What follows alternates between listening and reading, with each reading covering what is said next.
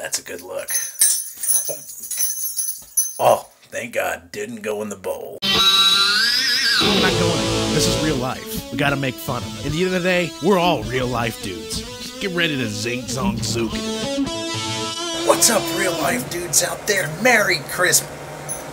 Hold on a sec.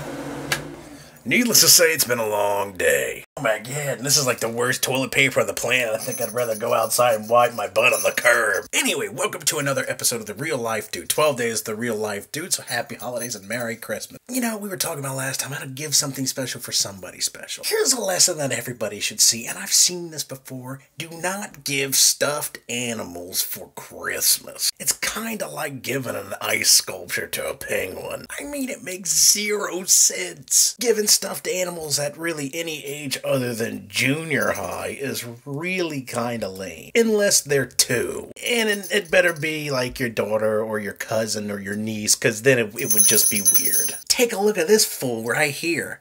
That dude is creepy. You've heard on Elf of the Shelf? That thing's a bear with a stare. Just remember, don't buy stuffed animals for Christmas or really any other occasion, especially for somebody that you love, like your girl or your guy or whatever. Save that crap for the kids, and even then, think twice.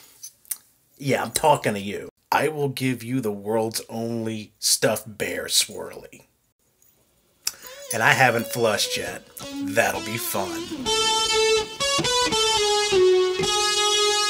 A real life dude and hit subscribe at the bottom.